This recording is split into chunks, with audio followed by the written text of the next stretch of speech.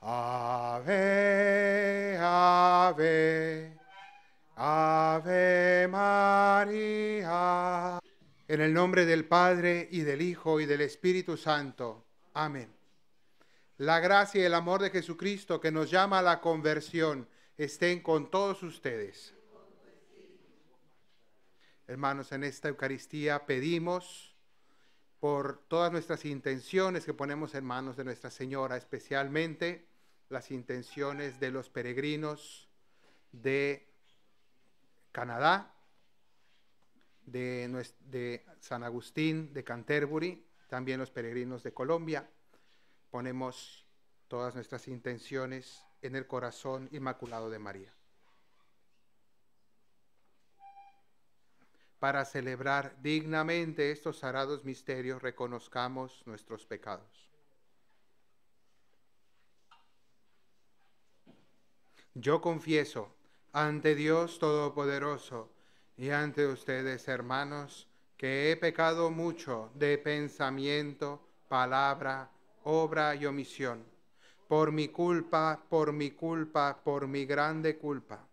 Por eso ruego a Santa María, siempre Virgen, a los ángeles, a los santos y a ustedes, hermanos, que intercedan por mí ante Dios nuestro Señor. Dios Todopoderoso tenga misericordia de nosotros, perdone nuestros pecados y nos lleve a la vida eterna. Señor, ten piedad. Cristo, ten piedad. Señor, ten piedad.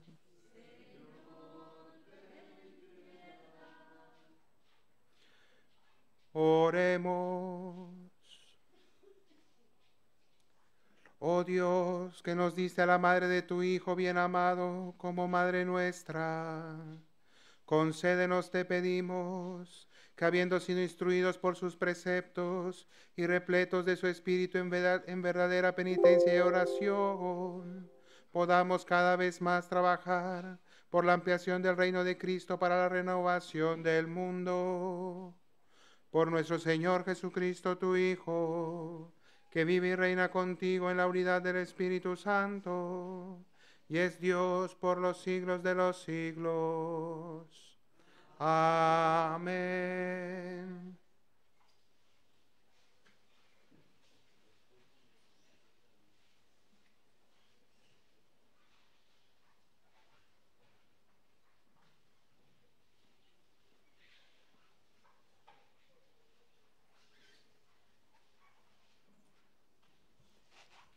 Primera lectura. Lectura de la profecía de Daniel. En aquellos días, Azarías, puesto en pie, oró de esta forma. Alzó la voz en medio del fuego y dijo, Por el honor de tu nombre, no nos desampares para siempre, no rompas tu alianza, no apartes de nosotros tu misericordia. Por Abraham, tu amigo, por Isaac, tu siervo por Israel tu consagrado, a quienes prometiste multiplicar su descendencia como las estrellas del cielo, como la arena de las playas marinas. Pero ahora, Señor, somos el más pequeño de todos los pueblos. Hoy estamos humillados por toda la tierra a causa de nuestros pecados.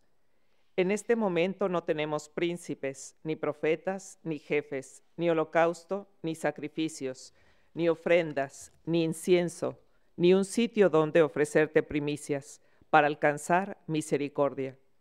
Por eso, acepta nuestro corazón contrito y nuestro espíritu humilde como un holocausto de carneros y toros o una multitud de corderos cebados. Que este sea hoy nuestro sacrificio y que sea agradable en tu presencia, porque los que en ti confían no quedan defraudados. Ahora te seguimos de todo corazón te respetamos y buscamos tu rostro. No nos defraudes, Señor. Trátanos según tu piedad, según tu gran misericordia. Líbranos con tu poder maravilloso y da gloria a tu nombre, Señor. Palabra de Dios.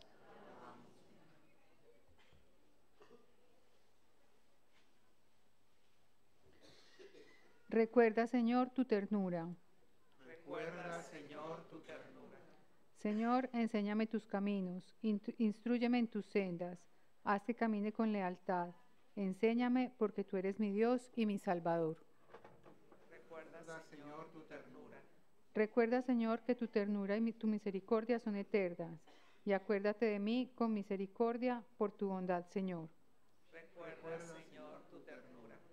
El Señor es bueno y es recto, y enseña el camino a los pecadores. Hace caminar a los humildes con rectitud. Enseña su camino a los humildes. Recuerda,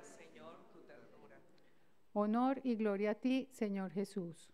Honor y gloria a ti, Señor Jesús. Ahora, dice el Señor, convertidos a mí de todo corazón, porque soy compasivo y misericordioso.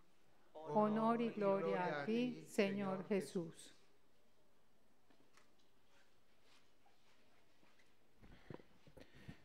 El Señor esté con ustedes. Lectura del Santo Evangelio según San Mateo.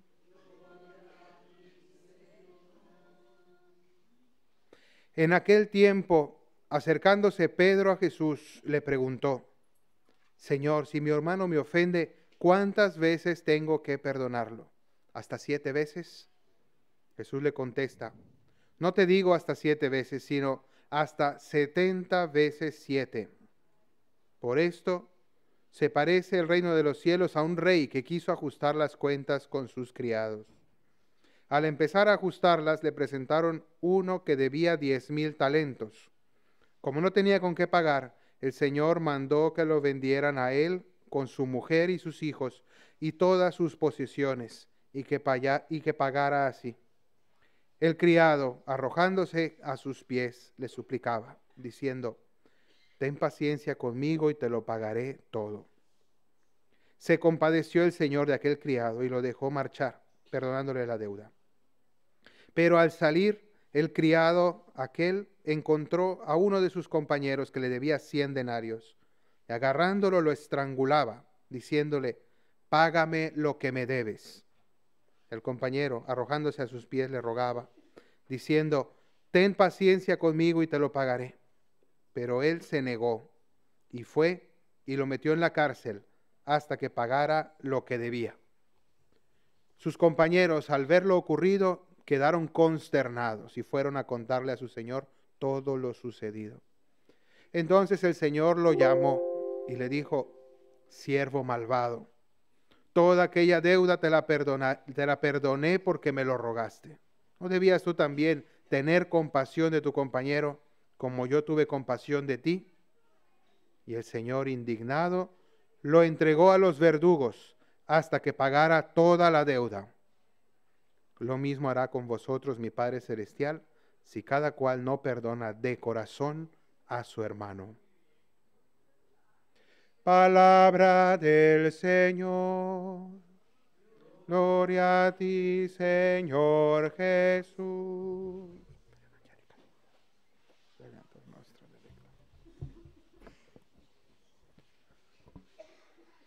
en este lugar santo, cuando se lee la palabra de Dios, tiene un sabor especial, porque sí, es Cristo que nos habla, pero aquí, en este sitio, es María la que nos presenta la palabra de su Hijo.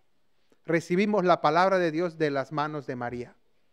Y entonces cada frase de Cristo tiene un sabor diferente sentimos que hoy esta invitación al perdón también nos llega de María que nos dice, hijitos míos, ámense, perdónense, reconcíliense.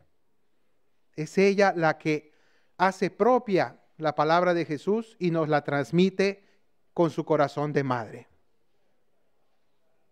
Y el mensaje de esta parábola de Jesús es muy claro, no hace falta muchas explicaciones. Si no perdonas a tu hermano, ¿cómo te va a perdonar tu Padre Celestial? La deuda que tenemos con Dios es enorme. Las deudas entre los hombres pueden ser grandes, pero nunca como la que tenemos cada uno de nosotros con Dios. Hemos sido perdonados y por tanto lo justo es que nosotros también aprendamos a perdonar. Hasta ahí yo creo que todos comprendimos el mensaje tan directo que el Señor nos da en esta parábola.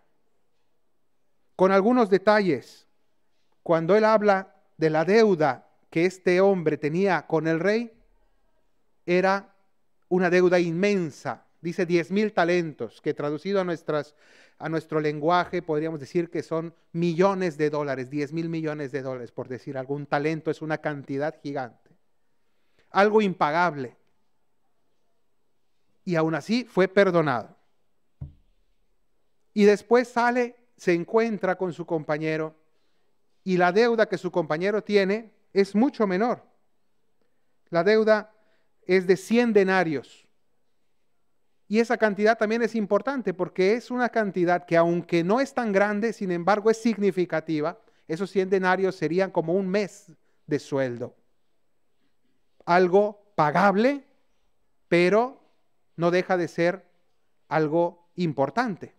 ¿Y eso qué quiere decir? Que también entre nosotros muchas veces hay deudas personales, hay ofensas, hay cosas que no son insignificantes. A veces hemos recibido ofensas, injusticias, daños que nos han costado a nosotros. Y que sin embargo el Señor, aun reconociendo que esas deudas humanas entre nosotros tienen una importancia y tienen una trascendencia, sin embargo no se comparan con lo que Dios nos ha perdonado. Y por tanto aquí hay una invitación al perdón que significa permitirle a Dios que sea Él el que te recompense, que sea Él el que sane la herida. Porque nuestro corazón tiene una sed de ser recompensados, de ser pagados por estas deudas. Una sed de venganza. Pero nuestra fe nos hace ver que Dios es mejor pagador. Y por tanto, si yo renuncio al pago humano, si yo renuncio a cobrar las deudas, y le digo al Señor, Señor, prefiero que tú me lo pagues, tú lo pagas mucho mejor los intereses del Señor son altísimos. Él sí que sabe recompensar a quien sabe perdonar. Y entonces ir por la vida no como un acreedor, ir por la vida no como alguien que va recordando cuánto me debe este, este, este, este, sino ir por la vida como un deudor. Yo soy un deudor perdonado.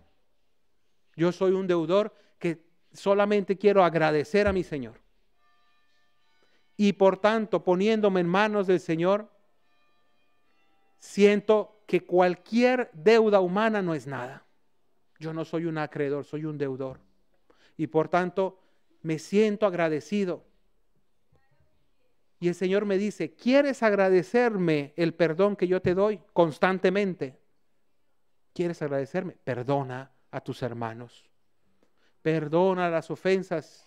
Perdona, Señor, nuestras ofensas, como también nosotros perdonamos a los que nos ofenden. Son palabras muy comprometedoras. A veces el perdón simplemente requiere el ponernos en el lugar del otro, ponerme en sus zapatos y disculparlo, ver sus circunstancias, tratar de comprender por qué hizo lo que hizo. En algunos casos eso es suficiente, pero en otros casos, en cambio, no. Hay momentos donde ni siquiera así se comprende la ofensa, la injusticia, el daño. Hay ofensas graves, duras, difíciles de perdonar.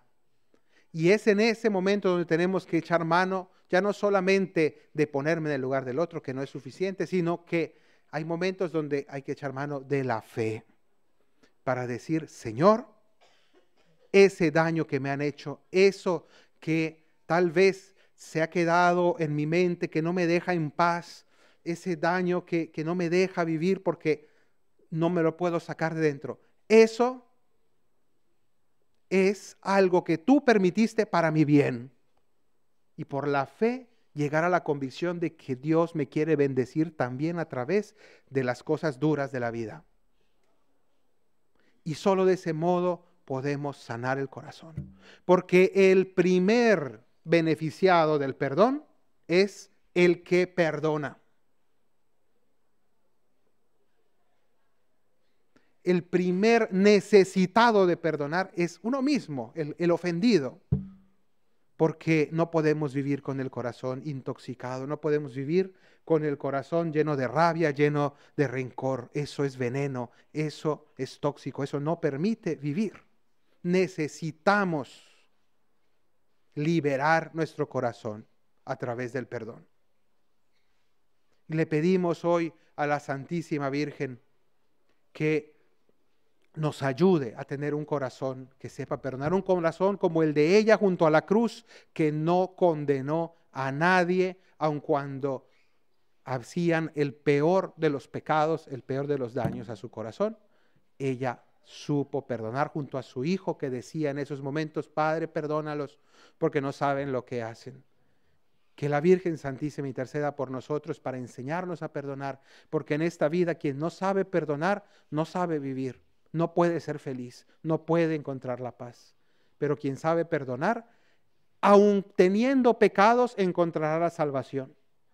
El perdón nuestro hace que el Señor nos perdone a nosotros nuestras deudas. Por tanto, pidámosle al Señor que a pesar de nuestros grandes pecados, tenga misericordia de nosotros por los méritos del perdón que sepamos ofrecer a nuestros semejantes. Que así sea.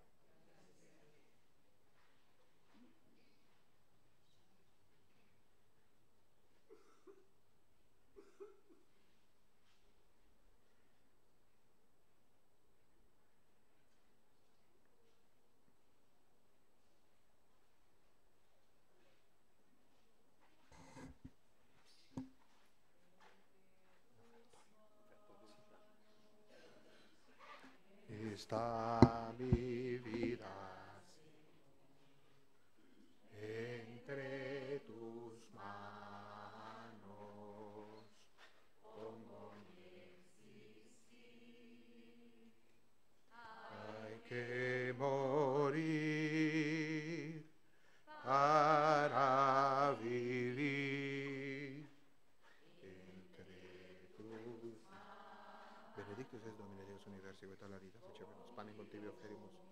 un terreto per ismanum hominum esconovis fiet panis vitae, benedictus Deus in secolo.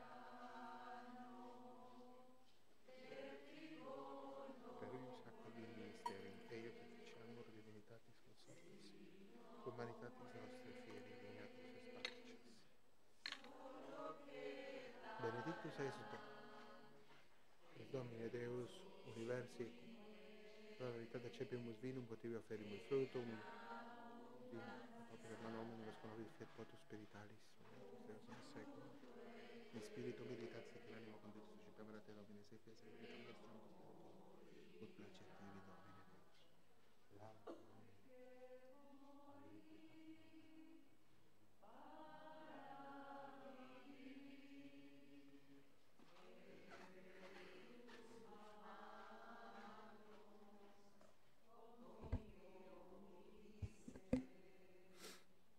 Oren hermanos para que trayendo al altar los gozos y las fatigas de cada día, nos dispongamos a ofrecer el sacrificio agradable a Dios, Padre Todopoderoso.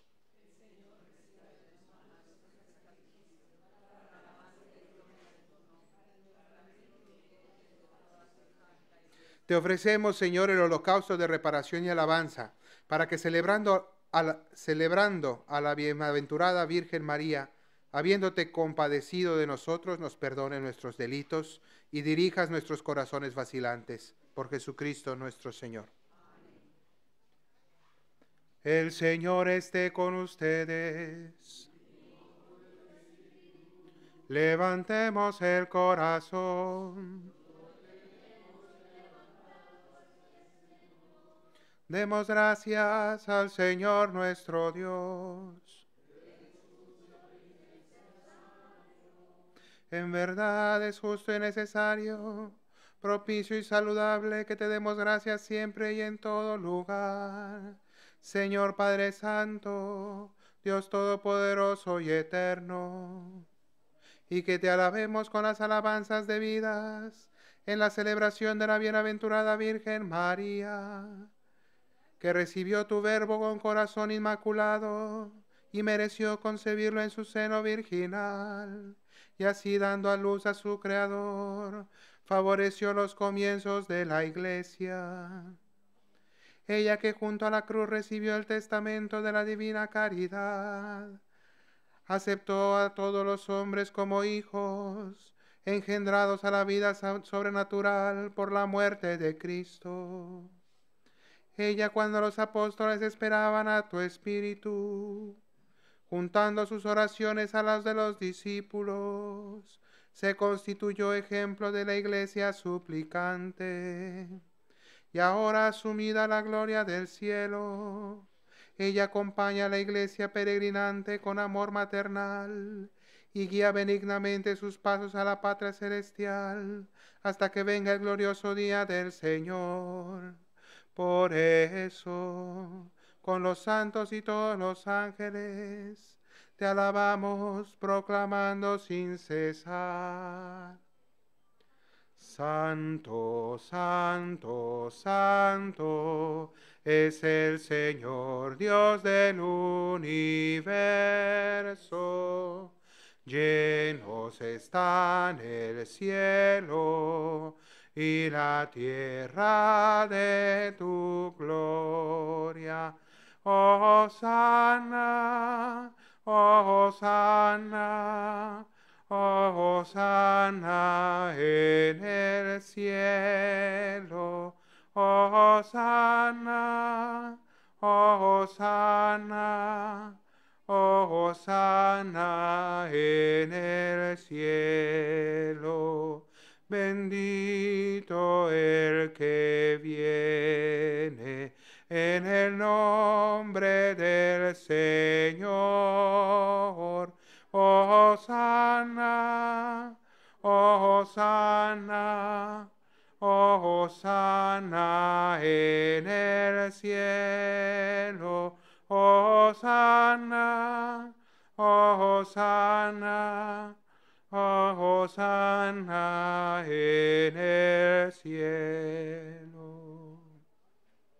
Santo eres en verdad, Señor, fuente de toda santidad. Por eso te pedimos que santifiques estos dones con la efusión de tu Espíritu, de manera que sean para nosotros cuerpo y sangre de Jesucristo nuestro Señor, el cual, cuando iba a ser entregado a su pasión voluntariamente aceptada, tomó pan, dándote gracias lo partió y lo dio a sus discípulos, diciendo, tomad y comed todos de él, porque esto es mi cuerpo, que será entregado por vosotros.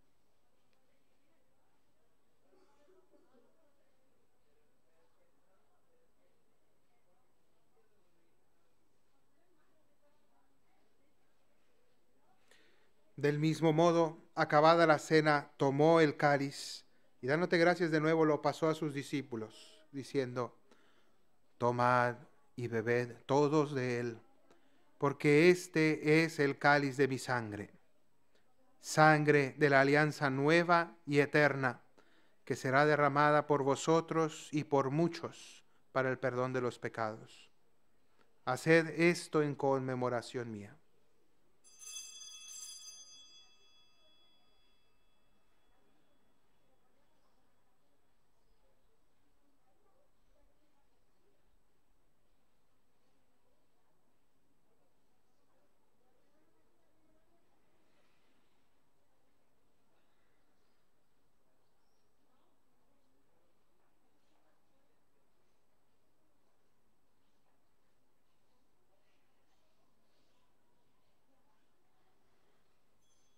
Este es el misterio de la fe.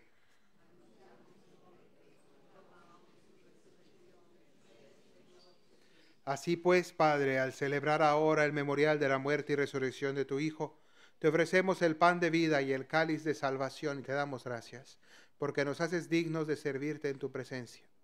Te pedimos humildemente que el Espíritu Santo congregue en la unidad a cuantos participamos del cuerpo y la sangre de Cristo. Acuérdate, Señor, de tu iglesia extendida por toda la tierra, y con el Papa Francisco, con nuestro obispo Antonio y todos los pastores que cuidan de tu pueblo, llévala a su perfección por la caridad. Acuérdate también de nuestros hermanos que se durmieron en la esperanza de la resurrección, y de todos los que han muerto en tu misericordia. Admítelos a contemplar la luz de tu rostro. Ten misericordia de todos nosotros y así con María, la Virgen Madre de Dios, su esposo San José, los apóstoles y cuantos vivieron en tu amistad a través de los tiempos, merezcamos por tu Hijo Jesucristo compartir la vida eterna y cantar tus alabanzas. Por Cristo, con Él y en Él, a ti Dios Padre Omnipotente, en la unidad del Espíritu Santo, todo honor y toda gloria, por los siglos de los siglos.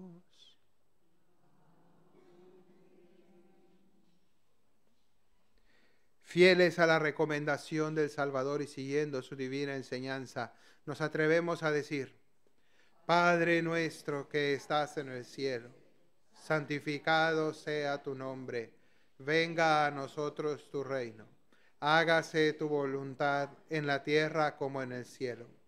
Danos hoy nuestro pan de cada día, perdona nuestras ofensas, como también nosotros perdonamos a los que nos ofenden no nos dejes caer en la tentación y líbranos del mal. Líbranos de todos los males, Señor. Concédenos la paz en nuestros días, para que, ayudados por tu misericordia, vivamos siempre libres de pecado, protegidos de toda perturbación, mientras esperamos la gloriosa venida de nuestro Salvador Jesucristo. Señor Jesucristo, que dijiste a tus apóstoles, la paz les dejo, mi paz les doy. No tengas en cuenta nuestros pecados, sino la fe de tu iglesia. Y conforme a tu palabra, concédele la paz y la unidad, tú que vives y reinas por los siglos de los siglos. Que la paz del Señor esté siempre con ustedes. Como hijos de Dios, démonos fraternalmente la paz.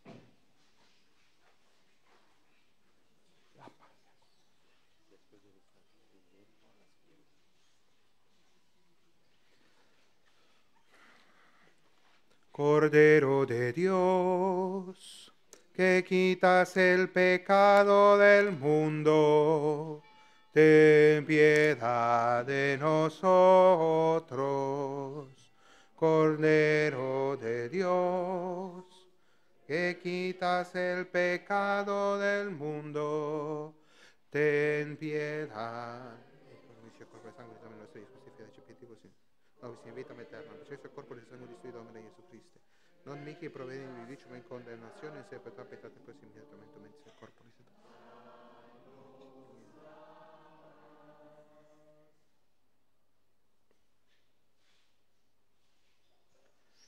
Este es el Cordero de Dios Jesucristo, que quita el pecado del mundo.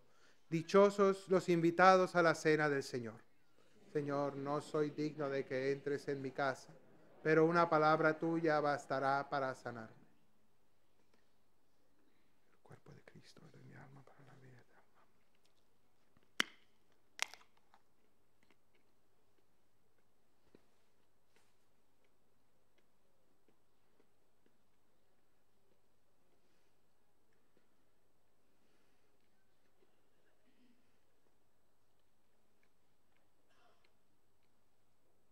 Sangre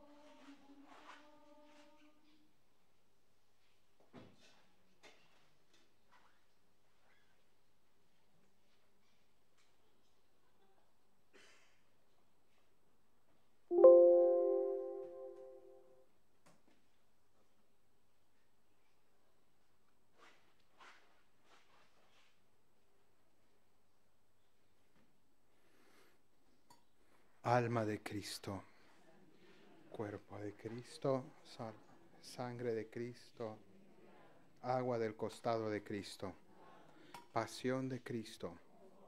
Oh mi buen Jesús, dentro de tus llagas, no permitas del enemigo malo a la hora de mi muerte y mándame ir a ti.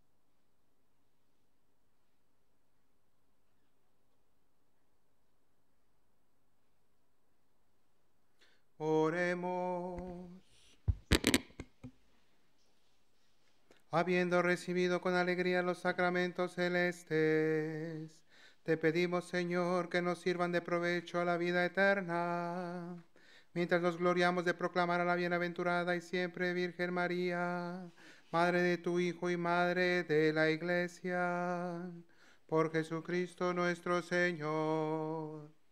Amén. El día de hoy, 21 de marzo, es el inicio de la primavera. Y yo en esta bendición pido al Señor que también para nosotros aquí en Fátima comience una nueva primavera, que pase el invierno en nuestro corazón frío, que las palabras de la Virgen realmente nos calienten el corazón, nos llenen de amor a Dios y al prójimo y que a partir de ahora eh, comencemos con esa conversión a la cual nos invita la Santísima Virgen María.